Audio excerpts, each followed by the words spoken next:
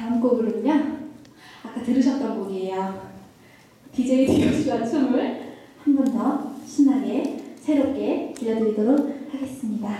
여러분들 박수 주세요. 감사합니다. 음악 주세요.